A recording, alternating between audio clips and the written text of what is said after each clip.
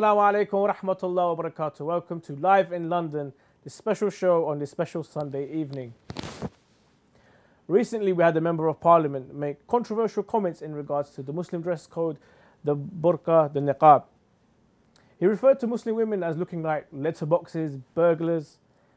This obviously provoked a, a very, very angry response from Muslims and non Muslims alike. But what is the historical and the, the fiqh, the ahkam rulings in regards to the niqab? As Muslims, are we supposed to cover our faces or is this just mustahab or is it just cultural? Furthermore, we have the likes of France and Denmark having campaigns to ban the burqa. Where does, where does this lead to, and how can we as Muslims react and respond to such situations? Surely we also have the freedom to dress how we want to. Isn't that a right of every human being? Inshallah, we'll discuss this and a lot more with Dr. Sayed Ammar Nakshawani. Assalamu alaikum, Doctor. Alaykum assalam wa rahmatullah. Doctor, very controversial, very, very, you know, uh, you know, in, in trend right now. But are we as Muslims the only religion that actually cover ourselves and, and cover our faces? Well, I think what was uh, disappointing about the statements that were made, and I know that we have so many viewers who are uh, from outside of the UK who may be asking, well, what exactly has taken place? And you've got, you know, a person who was in a political position in this country, respected political position as, you know, mayor of London or in a foreign secretary position, who described a certain spectrum of Muslim women who have the face veil on as uh, similar to letterboxes and even similar to burglars. And what was disappointing about such statements is that he was the mayor of what is arguably the most cosmopolitan city in the world. There is no city, and I'm proud to say this as a Londoner, and I'm proud of having been raised in London. Um, and for me, there is no place on this earth like London. Uh, I'm proud to say that, you know, you could look around you and you could see people of different faiths, people of different backgrounds, uh, denominations, who are able to live together in peace and harmony. You know, on one street, you may be having uh, a neighbor who may be of the Sikh community, or you may be having a neighbor of the Jewish community. And you're absolutely right when you state that they also have forms of uh, head covering. If you look, for example, within the Sikh religion, the turban or the dastar that they wear, you'll find that many will wear it until today, in some cases with a view of it being obligatory, in other cases with a view of it being recommended. But the basis of it is a form of honor, a form of reverence, a form of respect and dignity for that person. Some would also say a form of identity, no? Identity as well, as in, I felt sorry for some members of the Sikh community in the aftermath of 9 11 when they got attacked because people thought they were Muslims. Yeah. You know, and then you've got members of the Jewish community in London who will wear the kippah. And when they're wearing it again, you'll find that some of the Orthodox Jewish uh, community members will wear it on the basis of it being obligatory. Then there'll be others who may say, well, it's not obligatory, but it should be encouraged with the children from a very young age. In other words, Islam is not unique in the fact that it talks about a head covering with an understanding of honor and dignity and respect and reverence surrounding it. And we've lived in London for so long where interfaith has been part and parcel of the success of many of these religious communities. You go to virtually every council in the London boroughs, and you'll, say that, you'll see that there is an interfaith group where members of these religions come together and they're able to benefit and learn from one another. Like I'm speaking next week um, at an interfaith event on the concept of sacrifice in Islam and Christianity with a priest of the uh, Christian community. And there is that love and that respect that is there. So it was very disappointing when this was said because it then antagonizes. Who does it antagonize? Firstly, it may antagonize members of the Muslim community. Secondly, even members of the non Muslim community who are disturbed when a person dictates, well, this is the exact way that you have to dress. Then there are certain with maybe extreme opinions about how this country does not give rights to Muslims, who will use that to then further explore angles of even terrorizing in this country. As in, when someone comes and says, Why is it that some of these bomb blasts have happened? If you're going to have comments like this, you're feeding that type of person, antagonizing that type of person, who's now making an excuse to say, Well, if he's going to take the mick out of my mother's, for example, face veil, and we know that the face veil is not something which is seen in the majority of the members of the Muslim community, but it exists. Likewise, the kippah is not going to be seen on every member of the Jewish community, for example, in London, but it exists. Likewise, there are many Sikh who do not wear the turban, but still, it exists. When I'm now going to make fun of it and say letterbox or burglars, I'm feeding, and I'm also feeding another group, the racist establishment.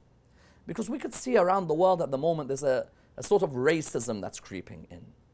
A racism where it's very normal to mock not just religion, but to mock the beliefs of a group of a particular religion. And now, for certain people, and especially white supremacist groups, uh, whether it's here or whether it's other countries, well, they're going to say, well, if a top official can make such comments, what's there to stop us taking our, our venom on these people? And that's why you find that there are reports that certain ladies who've decided in their life to wear the face veil were the victims of hate attacks. Not many, but it doesn't have to be many. Could be one acid attack could destroy the whole fabric of a community. Likewise, it could be one push towards the middle of the road can kill someone's life. So we have to look at this and try and come together to explain the background of this because I think also many Muslims are uncertain. Face veil, obligatory, not obligatory. Is the veil obligatory, not obligatory? Yeah. In regards to the veil being obligatory or not obligatory, I mean, what does the Quran have to say in regards to that? I mean, surely it mentions about the hijab and covering of the hair. Is it that to that extent? Does it not go on further to discuss anything about covering the face at all? I don't think I don't think the Quran I don't think the Quran uses the word hijab in relation to covering the hair. Therefore, on YouTube, if you find certain people who are saying that there is no verse in the Quran which tells you wear a hijab on your head, I think they're right. There is no verse in the Quran that says, get a hijab and put it on your head. But then we have to look at the evolution of the word hijab. Words evolve. The coinage of terms is a study within itself. If you look in Usul al-Fiqh, there is a chapter in Usul al-Fiqh where they discuss the evolution of a particular term.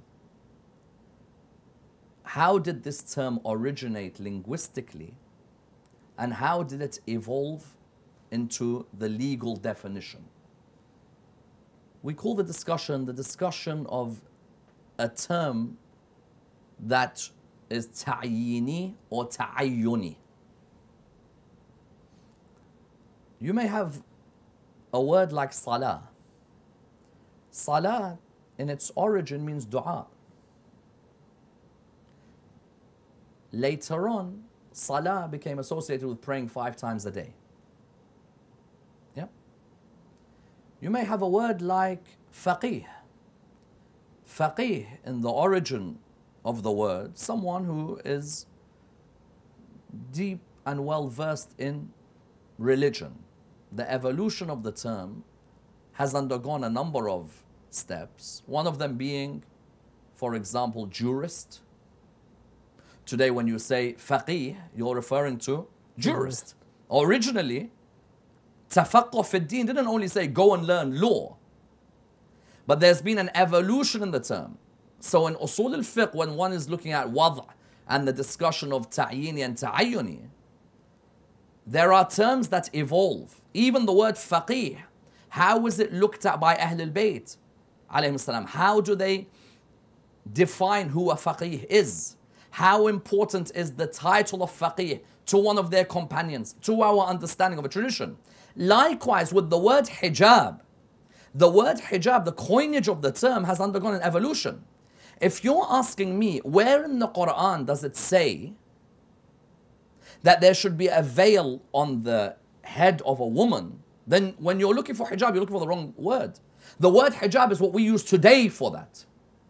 In Arabia, the head covering was known as the khimar. You notice with alcohol being an intoxicant, it's called khamr. Yes. But why is it called khamr? Because it's that which covers one's reasoning. Likewise, the khimar was seen as a cover that Arabian woman used to already wear. That word khimar is the word that you have to look for if you're trying to find out what is head covering in the Quran. And in Surah 24, verse 31, Allah subhanahu wa ta'ala gives an order to the Muslim woman with the word khimar. وَلْيَضْرِبْنَ بِخُمُرُهِنَّ عَلَى جُيُوبِهِنَّ Let them now draw their veils over their chest area, over their bosom area. These Arabian women used to already cover their heads, but their neck and chest area was showing. When the Quran said, وَلْيَضْرِبْنَ بِخُمُرِهِنَّ What was the Quran telling us? The Quran was telling us now tell these women to draw their veils that they already have on over their chest area. Therefore, when a person's looking for the head covering in the Quran, if I go on YouTube today, I'll find that there are many videos on YouTube today which say there is nothing mentioning hijab in the Quran. Hijab, the only thing that's mentioned about it is that it's a barrier that exists, say, between a man and a woman. Well, I'm not looking for the word hijab. The word hijab is what linguistically later on may take a legal connotation in certain traditions. But if I'm looking for the word khimar, وَلْيَضْرِبْنَ بِخُمُرِهِنَّ عَلَى جِيُوبِهِنَّ That's when I find the word for head covering in the Quran. Because today I receive many emails of people saying, if it's not in the Quran, why should I wear?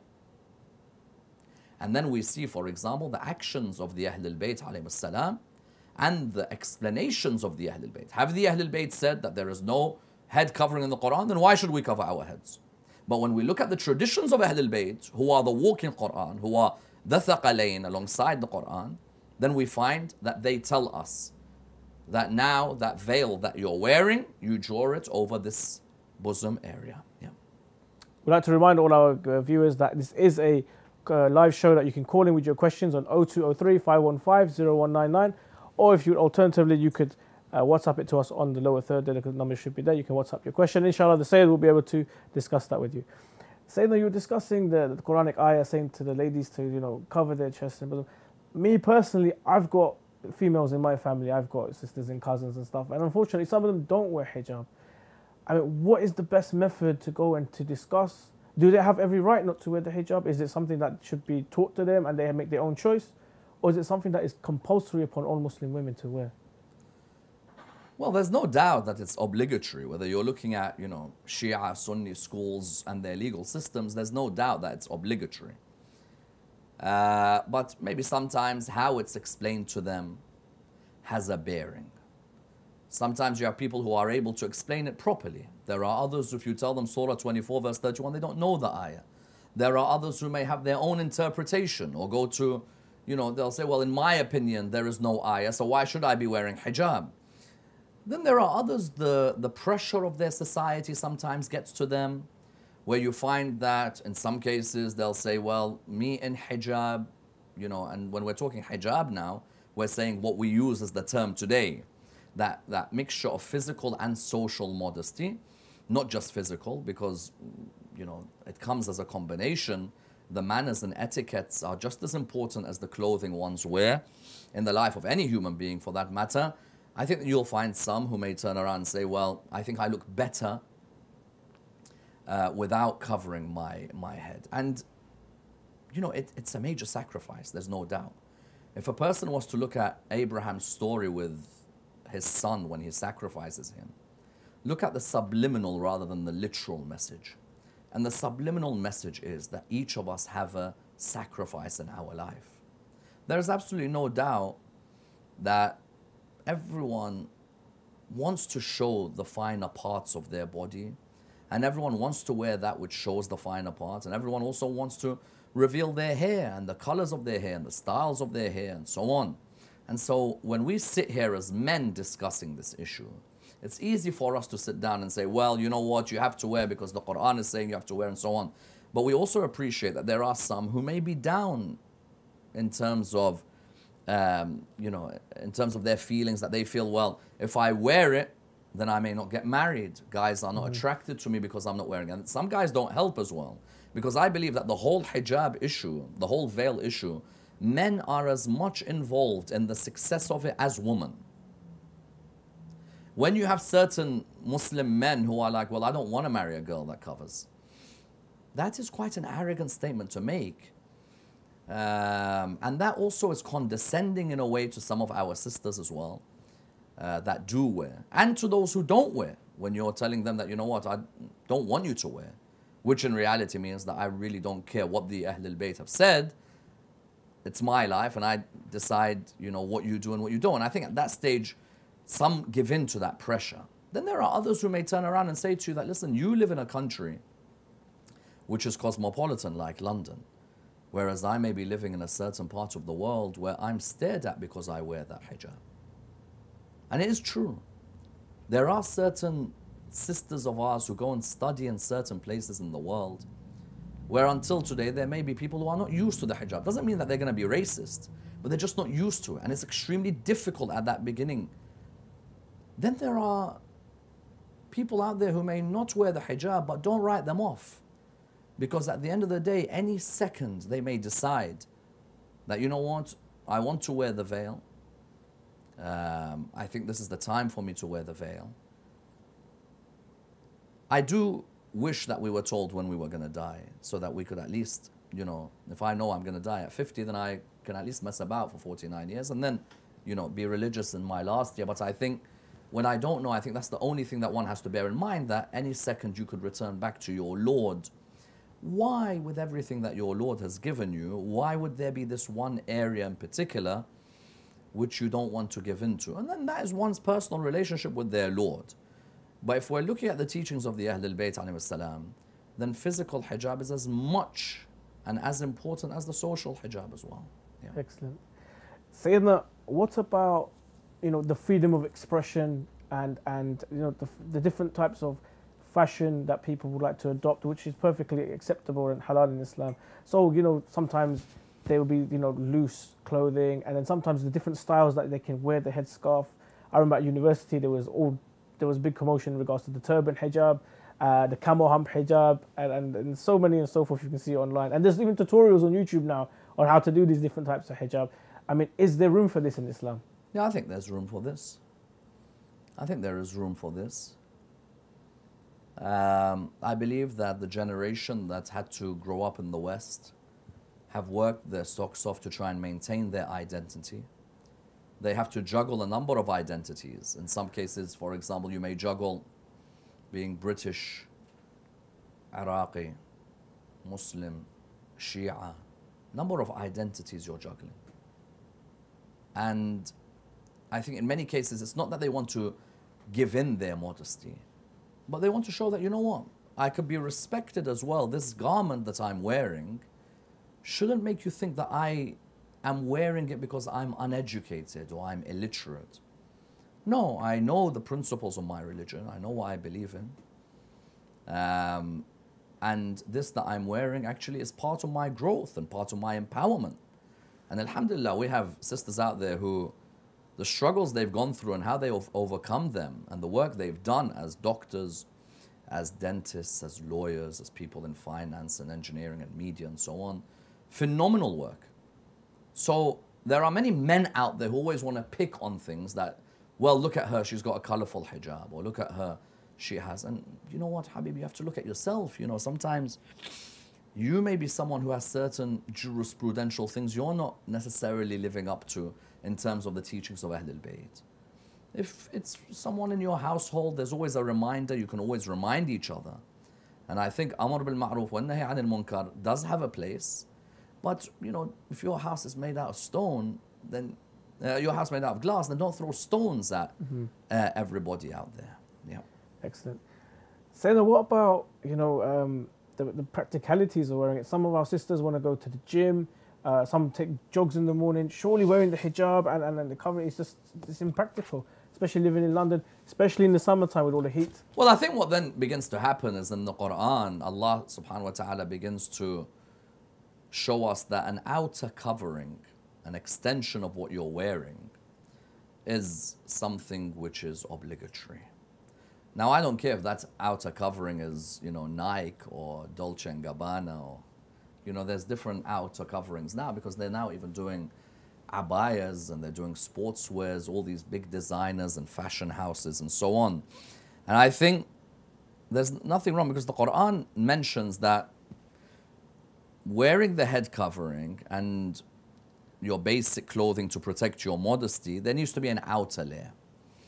If you look in Surah 33, verse 59 of the Quran, يا أيها النبي قل لأزواجك وبناتك ونساء المؤمنين يدنين عليهن من جلابيبهن ذلك أدنى أن يعرفن فلا يؤذين The Quran says and orders the Prophet, tell your uh, wives, your daughters, and the believing woman to wear an outer garment.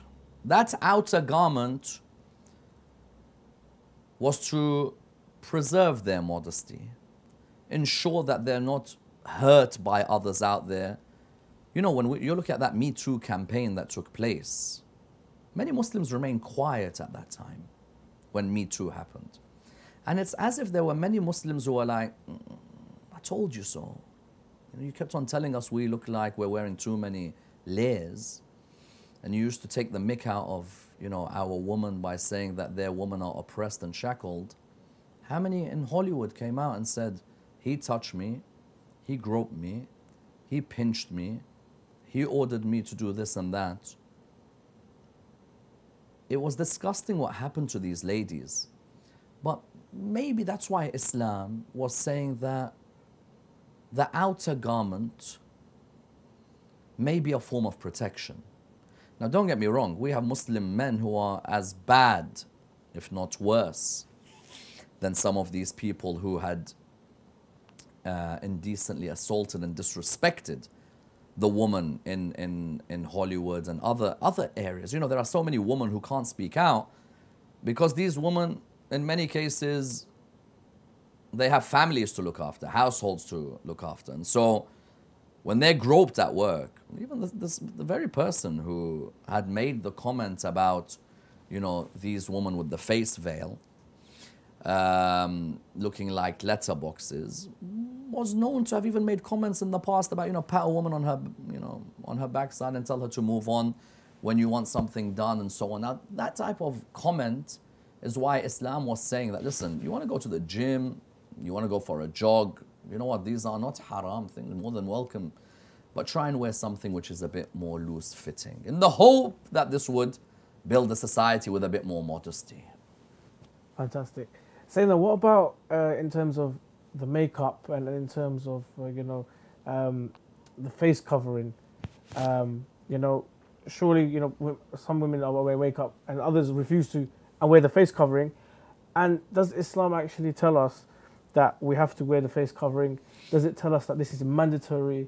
And I mean, I mean, did did that person actually have a right to actually go and have an attack on this piece of clothing? It's an interesting question because when you're looking at that same ayah, Surah 24, verse 31, there is a part of that ayah. If you look at the beginning, وَقُلْ لِلْمُؤْمِنَاتِ يَغْضُضْنَ مِنْ أَبْصَارِهِنَّ وَيَحْفَظْنَ فُرُوجَهُنَّ Tell the believing woman to lower their gaze and to uh, protect their privacy. ولا يبدين زينتهن إلا ما ظهر منها. and to not reveal that which adorns them, except that which is apparent. Now, someone says, What does it mean? وَلَا يُبْدِينَ زِينَتَهُنَّ إِلَّا مَا ظَهَرَ مِنْهَا. What does that mean? The idea was that, for example, I'm a Muslim, if I'm a Muslim woman living at the time, and I've got, for example, you know, all my finest jewelry and necklaces and everything that is an adornment for me, that is now to be covered in this new concept of modesty, except for what? Except for my face and my hands. That is what can be showing. That was seen as the majority opinion of many scholars. That they say that a Muslim woman can show their face and can show their hands, for example. Some may have extended it even to the feet. And they base this on traditions, for example, in the Shia school, base it on traditions in two ways. Either you go to Imam al-Baqir and Imam al-Sadiq which is where we get most of our traditions. Where when they asked what is the definition or the tafsir or the meaning of وَلَا يُبْدِينَ زِينَتَهُنَّ إِلَّا مَا ظَهَرَ مِنْهَا they reply by saying that you cover the adornments except your face and your hands. And that's why you'll find the majority of Muslim women who, for example, may be uh, covered their face is showing and their hands are showing. And you'll find that, for example, scholars like Ayatollah Sistani, may Allah bless him and give him a long life, you'll find that he will say uh, that the face can be showing and that the hands can be showing. However, if you are showing the face and the hands, then do, for example, do not use the face and the hands um, in a way in which you're going to be attracting um, those with lustful intentions. Now that brings about the discussion. So for example, if you're saying that illa ma dhahara minha is referring to being allowed to show the face and the hands, someone asks, okay, can a woman put makeup on? And I think many times with Muslims, you'll have this many who'll look for black and white. So there'll be some who'll say no makeup at all, and there'll be others who'll say, no, I want to wear makeup completely on my face. And I think there's a balance, like everything. There should be a balance, even on this area. That you'll find the Maraja, I'm not going to say to you, you cannot wear makeup at all. There may be certain people, we have to admit this, that there may be certain people, maybe skin defects, for example, or skin issues. They may, some have spots, acne, and so on, and they may want to cover that. And, and also, some may put subtle makeup on. You know, no one's, no one's saying that you put like, you know, a particular type of lipstick which you know is bringing that attraction but there may be something more subtle on that. And then there are those out there who for example will say well if Ayatollah Sistani allows us to show our face our hands then I'm going to put nail polish for example. And once again Ayatollah Sistani puts the condition in his discussion that the Quran has said yes you cover your head but your face can be shown, your hands can be shown. But if what you put onto your hands or onto your face is going to bring about that wrong, um, immoral, you know, actions um, from yourself and from the men. And I have to stress on the men because when the ayah says وَقُلْ لِلْمُؤْمِنَاتِ before that it said قُلْ لِلْمُؤْمِنِينَ يَغُضُّ مِنْ أَبْصَارِهِمْ وَيَحْفَظُوا فُرُوجَهُم tell the believing men to lower their gaze so for as much as we're discussing that okay there is a veil and whether there is a face veil there's no face veil there is a, a major stipulation for, for men to be the ones who are part of the growth of this moral society as well. Um, and today people say, well, you know, so I can't put nail polish on. Well, why are you putting the nail polish on? Uh, you're obviously putting nail polish on because you think that that nail polish is something which which looks good. Um, and someone will say, yeah, but you know, that's all. I, I don't want to attract anybody else out there with it. But then it may, in the greater picture, um, there may be others who will use these to bring about, you know, uh, attraction and so on. And that could lead to immoral acts, for example. So, so when, when you've got this, some will say, okay, well, now there's nail polish. And they'll say, okay, how about nail polish where I want to wear it and it's not got really a color because now there's a nail polish color called nude. Uh, don't ask me how I know these things, but you know sometimes you research these things and you come up with with interesting facts. But they ask about wudu, and then someone will say, "Well, I went to a store." And it's very interesting. They ask me, "Can you wear, uh, you know, nail polish if the water uh, what do they say? The, uh, the water will. Well, well, permeable. I mean, they can go through. yeah. Go through. Yeah. Well, I'm not a marja and nail polish, and I don't think you know Ayatollah Sistani is has got a chapter on on nail polish. But if you ask the experts in there, they'll tell you whether this actually is something which you can do wudu in or no. There are you know Muslim sisters who work in these areas who will be able to tell you the reality of these things. For example, What Yeah. about uh, say what about henna? Because henna is really recommended, and and uh, you know a lot, a lot of our sisters wear. Even the Well, I- I men think- wear it. I think, like, like I said, you know, there are certain things which are recommended, but in a time and a place. If you're going to wear henna amongst the ladies of the community, there's no harm whatsoever. You're going to wear makeup amongst the ladies of the community, you're going to a wedding, wear as much makeup as you want. But try and make sure that when the Quran has said the stipulation that you can show your face, the Quran is saying also at the, the hadiths and the you know the scholarly opinion are saying to us that maintain it within um, the world of modesty. Now, when we come to that opinion, therefore, you'll find Ayatollah Sistani, uh, you know, the great uh, scholars, many of them would have said that you're allowed to show your face and hands. But there are a couple of scholars who said no. Amongst them, Ayatollah al Khoi. Ayatollah al Khoi, may Allah bless his soul, uh, the greatest of you know jurists and teacher of so many renowned jurists Of who have yeah. who have you know who are alive or have passed away. Um, he cites, for example, certain traditions, which he then builds an opinion that no, the woman should be wearing, for example, um, a face veil. There is a particular tradition that he cites uh, where one of the companions of the Imams asks them about seeking uh, the witnessing of a woman for a particular court case. This can be found in, uh, in Kitab al Istibsar of Sheikh al Tusi. And Sayyid al Khou'i uh, looks at this discussion because the Imam actually tells the person that she should be covering her face to a certain extent because they want to verify how can we verify that it is her before she witnesses? And this is a difficult sensitive moment. And the imam uh, says that she should be uh, covering uh, a majority of her face. You could for example see uh, the eyes and that's about it and that's only because she's got to testify or he's got to testify in court otherwise someone like ayatollah al-khou'i is of the belief that the the Muslim woman should be one who covers her face. Now, what's interesting is that sometimes when you look at jilbab, which we mentioned earlier, yudnina alayhinna min jalabibihin, or you look at chador, or you're looking at these things, when the ladies in Iran or in Iraq, in some cases, will speak to you, they'll go like that. So they're not walking in the street necessarily going like that, but when someone is coming to them, who they may not know, they will, for example, cover their face. So you're not actually wearing a niqab, but the way they put the abaya or the way they put the chador or the way they put the uh, the manto, you know, cov- covering that comes with the abaya, they put it in a way in which they're trying to cover their modesty with loose-fitting clothing and so on. So one may argue that today, and the application of that could be that rather than just having a face veil directly, the application may be that a, you know someone might be wearing a looser garment and covering their face from the foreigner.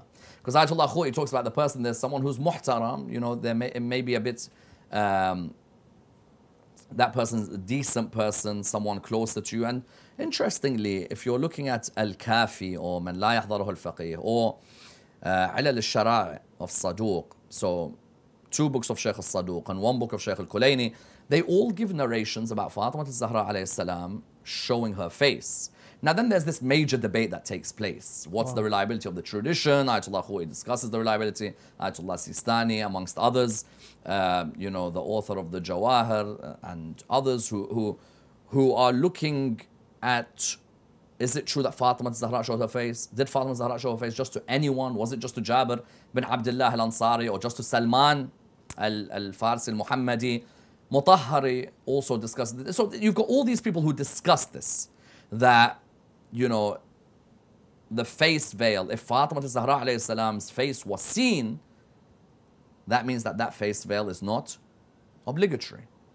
Um, whereas Ayatollah al Khou'i will say, but if the Imam is talking about the niqab being worn for this woman who's got to testify in this court case, or who they have to testify on behalf of, why would the Ahlul Bayt tell her to, you know, be in that state unless they're giving us the indication that the woman, the majority of her face should not be able to be seen. This area above the nasal and below the uh, forehead. So it's interesting how they go back and forth in their discussion of this area. Yeah. Sayyidina, you mentioned Sayyid Khou'i and you mentioned Shia you know, sources uh, in regards to the niqab. What about other schools of thought in Islam? Do they have any, um, you know, ruling in regards to this? Do they say it's wajib or mustahab to cover the face? It's interesting because if you're looking, for example, at at this, a state like Saudi Arabia, for example, and for a long time in Saudi Arabia, you had this, you know, these laws, especially if you're going to Mecca and Medina, majority of the women that you see are all um, wearing a niqab. And always I used to find it interesting when I'd sit in a, in a Burger King in, in Mecca, for example. Um, and you know you're you're smashing that whopper absolutely destroying it. And and you've got this lady who constantly has to go like this. You know she takes the the niqab off and she has a bite and then she puts it back. And i think you'll see this in, in dubai. You'll see this in other parts of the world. Um, and i'm not making fun of that lady because it takes a lot of iman a lot of you know faith a lot of respect and modesty for her to continuously. But you'll find that in saudi arabia for example the scholars of the Salafi school, I'd say probably three of the most famous scholars of the Salafi school, contemporary, um, Ibn Baz, Ibn Uthaymeen, and um, Al Albani. Um, you'll find that a couple of them have said that it's obligatory, and the other, for example, has pointed to the fact that it's mustahab rather than uh, wajib.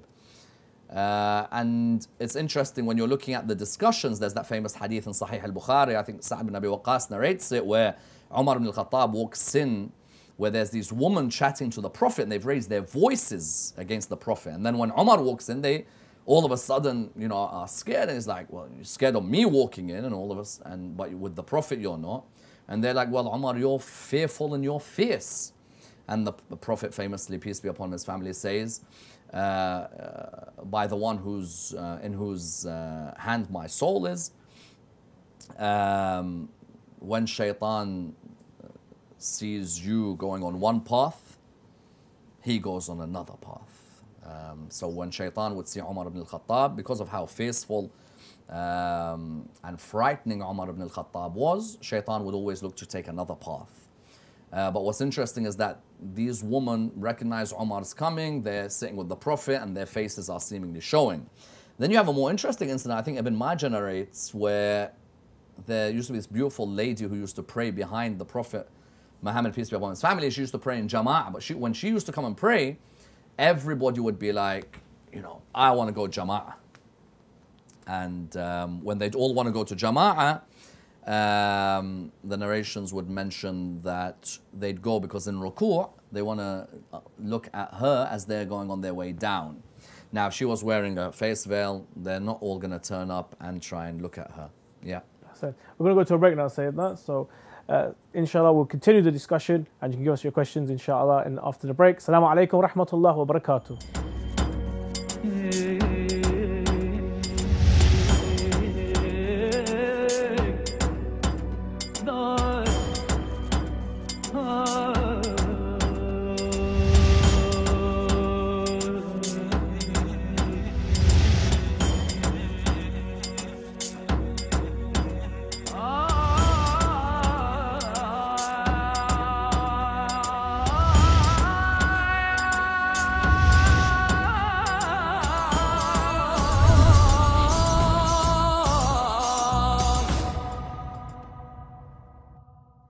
Assalamu alaikum rahmatullahi wa barakatuh. Welcome back to Live in London where we're discussing the burqa and the niqab.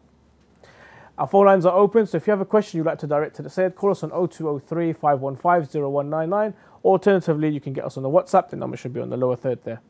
Sayyidina, you were discussing uh, the Prophet leading Jama'ah, and, and you know there, there was uh, a lot of people coming to Jama'ah. There was a specific reason that they were coming. Could you please continue? Yeah, these. Uh quite sexually frustrated Arabs in some cases, you know, they, or I think it's just the climate sometimes that gets to them, um, or maybe the richness of some of the food, but there was this beautiful girl who would come and pray in the jama'ah. So you've got, for example, the Prophet praying, and you've got um, rows of uh, of the jama'ah, and then of course ladies can be behind, and and what you have is that when this lady would be there, uh, these companions would uh, would come, and why would they come? Because in ruku' they want to look through, as they're going down in ruku' they want to look through their armpits to see her face. Is that even possible? I mean, Well, I, I don't know. You know, the, the the Arab could do absolutely anything sometimes, and and these guys would would be there. And some say that the ayah in the Quran, Surah 15, verse 24, was revealed about them. وَلَقَدْ عَلِمْنَا الْمُسْتَأْخِرِينَ آه، منكم ولقد علمنا المستقدمين. Um, المستقدمين, of course, refers to those. There was some who came before and some who came after. So when the Quran said وَلَقَدْ عَلِمْنَا الْمُسْتَقْدِمِينَ مِنْكُمْ وَلَقَدْ عَلِمْنَا الْمُسْتَأْخِرِينَ It was saying that there are some of you who come early and then there are others of you who come late. What's the intention? The intention is to try and come and see who exactly that lady was. Now if that lady had covered her face, then there is no way that they'll be looking forward to seeing her but it's only because her face was showing. And so some of the scholars say the fact that that lady's face was showing means that niqab was not obligatory. So when the Quran is talking about the mustaqdimeen and the mustakhirin, it's saying that uh, these groups were coming there for that reason that her face was showing. Yeah. Sayyidina, you mentioned in Saudi Arabia, and, and this is what you saw. I mean, we have those countries out there that are implementing Islamic Sharia and Islamic law. Does a country have a right to actually, you know, force the hijab as, as, an, as a law of the of the land, as, as state law? And what about those who are not Muslim and is, and they don't want to wear the hijab or, or cover their head?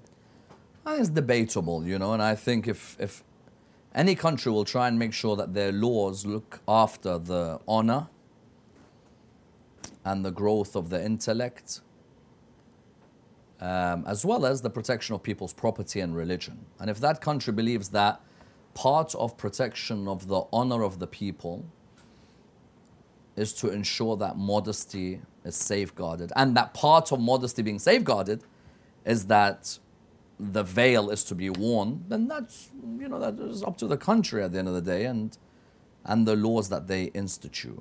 Um, and there- so people differ.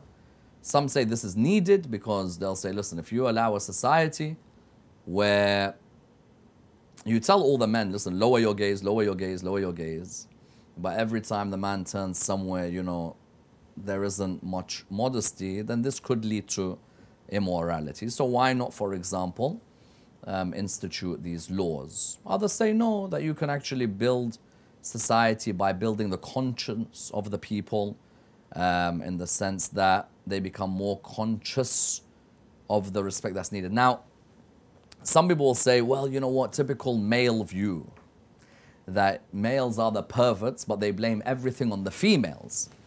Okay, so there are certain societies in the world where the Me Too campaign spread. No one's forcing the veil in those societies. But this guy's, you know, touched this girl, and this guy's done this to this girl, and this guy's groped this girl, and all for favors or all for extra so that they can go bigger in their banks or bigger in their films or they can catch, you know, have a role. And believe you me, if people will look at certain Muslim majority countries and be like, backward, illiterate, third world, the moment that Me Too campaign began, a lot of those people started to go a bit quiet because the idea was we live in a society where whatever makes everyone feel good is what should be practiced. Okay, so we let everyone feel good. And then we had um, these famous actresses who many of us have watched their films and admired, and we did not know that she had to go through the following to get the role. So maybe those people who are saying to you, maybe that instituting the veil or modesty in certain Muslim countries is done to lessen the amount of occurrences of such behavior. Does that mean you completely stop it? Then other factors come in. Because then that goes towards the discussion of what type of punishments are entailed for the perverted male. Again, people might turn around and say Islam backward, archaic. What's this? Men are to be punished, are to be whipped, are to be flogged. A man who comes and gropes a, uh, another human being's daughter, or a man who orders another human being's sister to sexually perform an act for him so that she lands a role or a job, that person has to be punished. There are some in certain countries who did that and they're still not punished because they're big names with big contacts and no one big can do anything to them. And their stories have all gone. So if someone today is saying to me that you know there are certain Muslim countries and that these Muslim countries are countries which institute the veil and the institution of the veil is something that is oppressive, okay, then let's look at countries which never allowed for such institutions. And it's so sad when we hear the number of ladies who were so bright and worked so hard to reach where they are and the sexual acts that they had to perform as favors. It's very sad. Yeah. That, let's bring it back to London and what happened with that uh, member of parliament did he have a right to actually criticize the, the veil? I mean, some people say covering the face makes you know makes it very intimidating. There's security issues, and furthermore, how as Muslims should we you know uh, respond to criticism? I mean, did we respond in the right way? I don't have a problem with someone um, critiquing any of the teachings of the religion of Islam. I think many Muslims, the moment someone questions certain uh, beliefs or practices that they have, straight away they'll shout Islamophobia. I don't want to fall in the trap of those religions that always had that one word that you could always use. If someone ever said something against you, just throw that word on people. I don't ever want to be, you know, someone who goes in that direction. I don't mind anyone writing a whole critique of Islam and even disproving the veil. But don't use terms like letterbox and burglars and things like that because that's insulting and that doesn't help bring the dignity of the society. One, we even in the Muslim community, if we have someone in our community who, for example, is is causing um, uh, antagonism and causing people to hate Islam, and we had certain personalities, if you remember, a few years ago, where certain members of the Muslim community differed with the ways that they were talking, like Anjem Choudary and others we also in the Muslim community, many of us turned around and we said that this is not acceptable. The way this person is speaking about about um, non-Muslims and so on. So critique, but with a bit of respect. Yeah. I believe we have a caller on the line. Hopefully this time it's going to be working. We have done all the tests. Assalamu alaikum rahmatullah. Your name and where you're calling from? Uh, salam. I'm Dania from Yorkshire. Oh, lovely, lovely to have you. Your question, please, for the Sayyid. Um, why is it women have to go to such lengths to cover up and men have it easy? Thank you very much for your question. Saying that why do women have to go to such lengths to cover up and, and not really much prescribed for men? A hundred times more beautiful than we'll ever be. You know, that's the reality. Um, the male body and the female body, you know, male, males can never come near the beauty of the female. Um, you know, it's just a wonderful creation and and even when you're looking at, for example, you're looking at the Quran, the Quran first addressed the, the modesty of the men. And as I said earlier in the show, um, if men are not observing the hijab that is discussed for them, um, that is prescribed for them, then you can't expect the whole burden to be placed on the woman folk of the society. When the Quran said, you know, قُلْ لِلْمُؤْمِنِينَ يَغُضُّ مِنْ أَبْصَارِهِمْ Tell the believing men to lower from their gaze. That is probably one of the hardest challenges that we have, but we have to observe it. It's a major sacrifice. You know, that one look, there are some who want to extend that look for the whole day but you have to observe it. You have to also build morality within society. There are some who, for example, will say that even part of the male hijab is the beard. You know, and uh, there are many of us who may not want to have a beard. We may want to be clean shaven. Too many greys sometimes. Well, the greys are cool. There's nothing wrong with the greys. But that is also. Also, there are, for example, certain um, in discussions concerning the aura of the male. And I think that there are many Muslims who may not be observing this.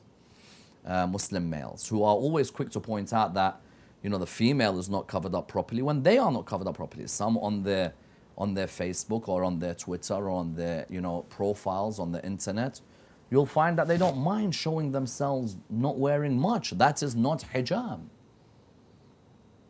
You know, so there's also that hijab as well. And I think the males, if they looked at the things that they were doing wrong and working on, um, I think that will help build that moral society. In many cases, sometimes when we're looking at the other gender, what we don't realize is much of the problems are coming because of us. Yeah. Excellent, thank you. So we were talking about um, you know uh, the critique and criticizing, and we want I wanted to ask you, how do us as Muslims respond to this?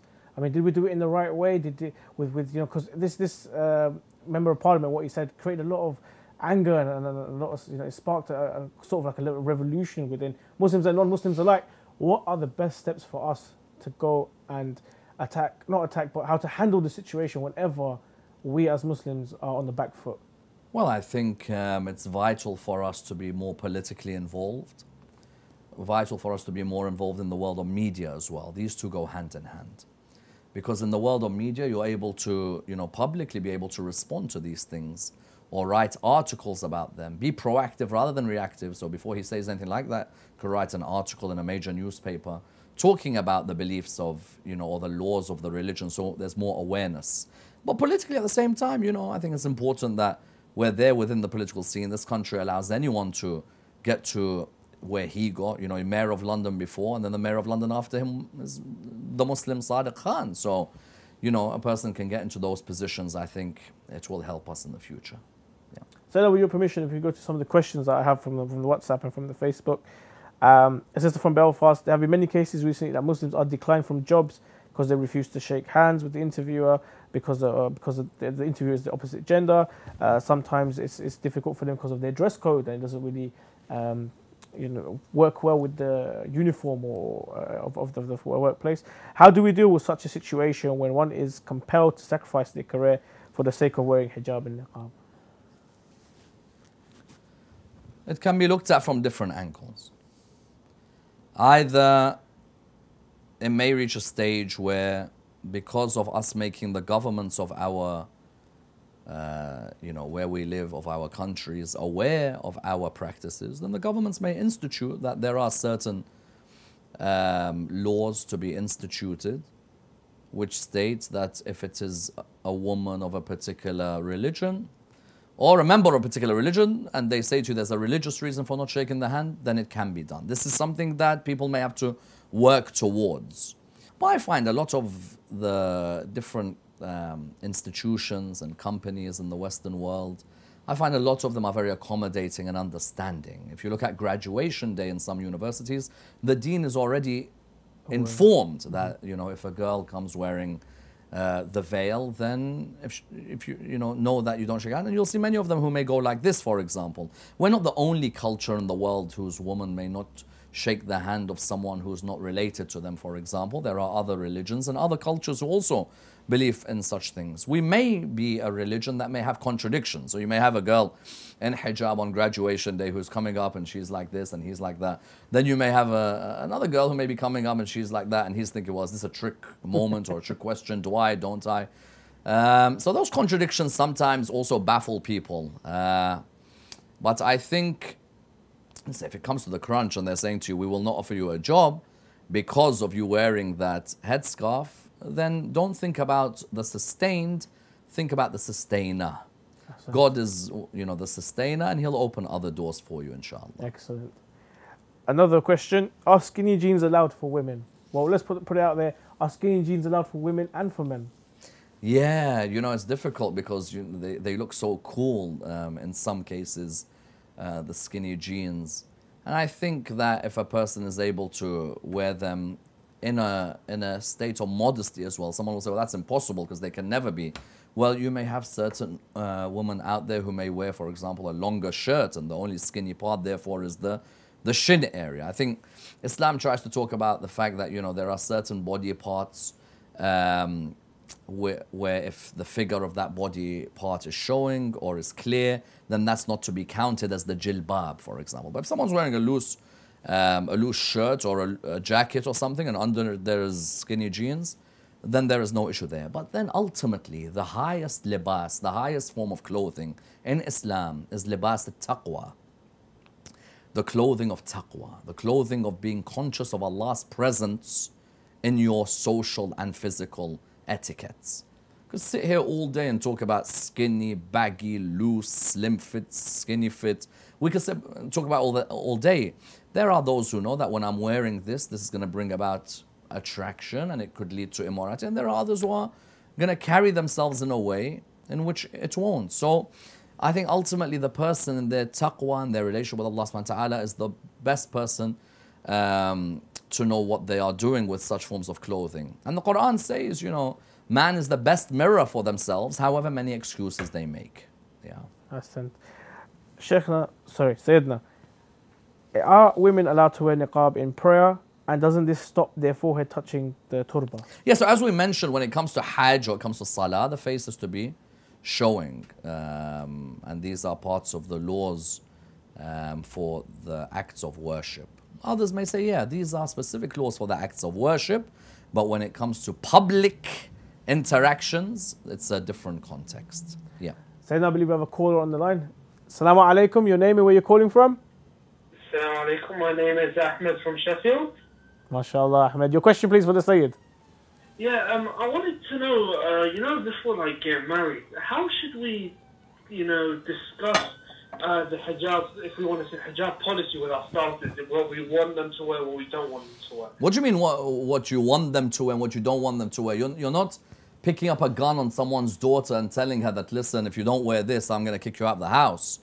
This attitude that many people have when they when they want to get married that I as the guy I'm going to tell the girl that this is exactly what I want you and what I don't want you to wear.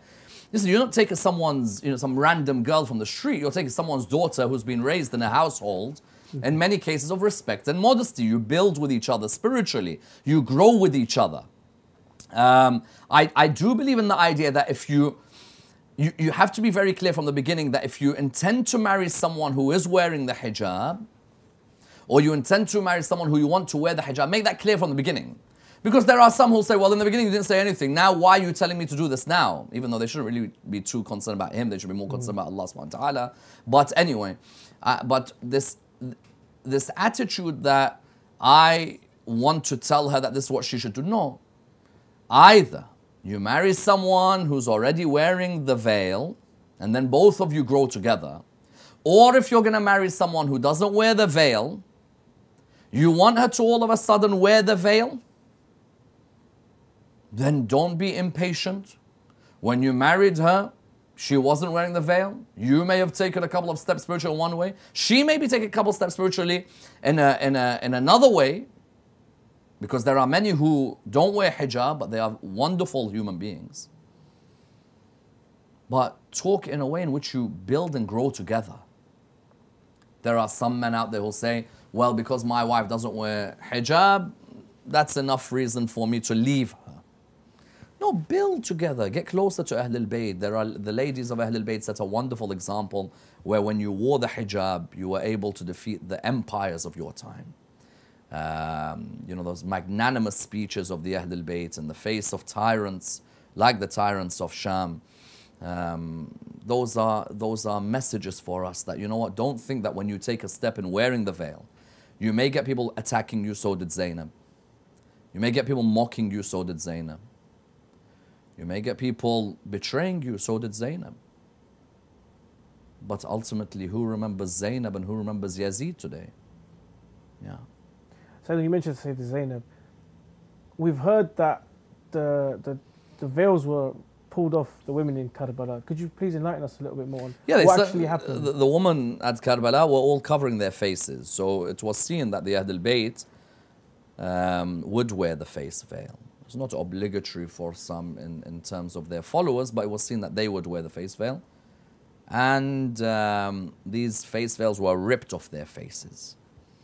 Um, and Sayyidah Zainab tells Yazid in, in the court in Sham, Is it fair that you disgrace us by unveiling our faces so that all can see us from the stranger to the acquaintance, from the noble to the ignoble, while there is none to defend us? So, yeah, they, they had their face veil removed. People were able to stare at them and see them for the first time. Some people try and say that, you know, their, their hair was also showing because they see that, for example, in lines like the lines in Ziyarat al-Nahiya al-Muqaddasa, when they read the lines Nashirat al-Shu'ur, for example. Some, you know, some will turn around and say that that is, you know, clear and obvious that their hair was now exposed. But you can let out your hair in front of those people who are related to you. Doesn't mean you're letting out your hair in front of uh, the opposition leaders. Or you let out your hair, but under your uh, veil, as a sign of grief, in contrast to the hair that's been placed in a particular bun, for example, which would be the sign of happiness uh, with the Arabs at the time. Yeah. So, then a question from uh, WhatsApp. Salam, I want to ask a question. How do we differentiate between qisma, also known as taqdir, and uh, predestination, specifically in terms of getting married? How do we know that this is Allah's will? If something bad happens or later on, is this qisma or Allah will or bad decision making? Inshallah, we have a discussion coming up on this in a couple of shows' time. We're looking at predestination and free will, and uh, within that discussion, we'll, we'll examine this. Yep. Sayyidina, when Europe is beginning to ban facial covering, what should Muslims in the West do? I mean, we've already seen France. Denmark have also uh, um, you know, joined the campaign with this happening in, in London, is it a matter of time because there's some sort of international um, campaign to ban the burqa full stop? Well, as I said, being politically involved is, is fundamental. You know, having a say in a democratic society, I think is something which we all have to appreciate as a, is a plus. Um, while many of us may take the legal opinion that that is not something obligatory, but still it could be a domino effect. If you begin with the face veil, the next thing that could be removed could be uh, the head veil um, or the veil of the hair. So I think that Muslims must uh, sit up and take notice. But I also think that many non-Muslims, when they saw these wordings, were disgusted by this language. Let's not make it out like suddenly the whole country has supported a person who has said that, you know, ladies who cover their faces look like letterboxes or burglars the majority of the people that we see in this country have been, you know, extremely supportive. Majority of the people that we see in this country have said that, listen, I'm not going to stop anyone wearing what they want to wear. Now that is a statement of truth um, with certain, um, you know, with certain, I think, with certain other aims. You know, sometimes someone says something truthfully that I don't mind what anyone wears. Everyone should be allowed to wear what they want that could also have other connotations, but I think that they sincerely mean that if that lady, and you know, sometimes the image is given that those ladies who wear the niqab are all uneducated, they come from villages, and that's why they wear the niqab. I think that that while in some cases that's true that there are certain ladies who, you know, some village in Afghanistan or in Pakistan or parts of um, Middle East where they were forced to cover their faces when they leave their houses, there are also many educated women who have decided that that for us is the highest level of taqwa, the highest level of uh, uh, modesty uh, possible. So let's not try and give this impression that everybody in Europe wants this type of language. There are many who are against this type of language. Um, and nor should we give this impression that those who do cover their faces are uneducated, illiterate women. On the contrary, there are people who have degrees from top universities who have decided that they that maybe the ayah that you know that surah 24 verse 31 ولا يبدين زينتهن إلا لبعولتهن except to their husbands that they only want to show their face except to their husbands and to their family members that's a decision they've taken on in life but don't insult them by saying that these are uneducated women. You know, um, I know that there are some who are unfairly forced to have that facial um, uh, covering, but then there are some who live in this country who have decided that for them this is the highest form of modesty. Yeah. Sayyidina, any final point you want to give to uh, our audience? Uh, one question I didn't get a chance to ask you was what about those who have good, clear intentions, uh, who, who may have a very, very strong relationship with the Ahlul Bayt and a strong relationship with Allah subhanahu wa ta'ala, but don't cover their hair? Surely, I mean, is not covering the hair, is, is that exclude them from such mercy from Allah subhanahu wa ta'ala and such. Oh, don't worry about exclusion of mercy. God has given mer- is merciful to people um, much worse than that, and the door of mercy and the door of forgiveness is always open for anyone. Nor should we keep entering this judgmental streak that has permeated the Muslim community, where if we see someone who doesn't look religious by our barometer, that means automatically those people um, we want to send them to hell. We should be more concerned about figuring out how we're going to get to that heavenly abode. Um, but as I said, sometimes when you want someone to wear the the veil, um, you're part of the growth, you're part of the problem, you're part of the solution. So it shouldn't just always be males who are dictating this is how it should be done. I think there are some brilliant role models who wear the veil. I think you know they can be as inspiring as role models to these ladies. But don't please be judgmental or rude towards anyone who in their life isn't because you know those people we don't know what circumstances have led them to this all we can do is say that we have the greats of Ahl al-Bayt alayhim salam and we try and emulate them as much as we can Excellent, excellent. Thank you very much. thank you And a thank you to all our audience for joining us. Inshallah, we'll be back next week on Monday. Um, until then, Assalamu alaikum wa rahmatullah